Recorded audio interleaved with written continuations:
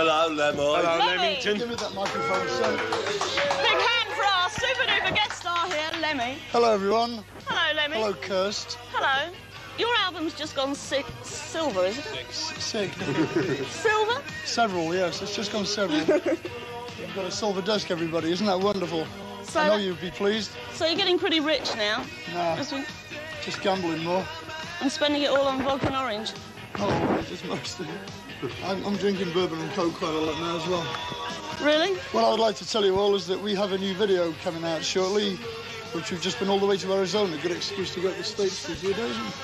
But uh, you haven't got it yet because it hasn't been edited. So, uh, That must be that thing on your lip, is it? what's that? It's a visit to the States. Oh, that's my new teeth. oh, you got them as well.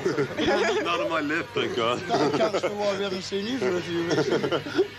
Uh, and in the meantime, here's an old track by an old band I used to be in called Motorhead. It's called Over. I am fit.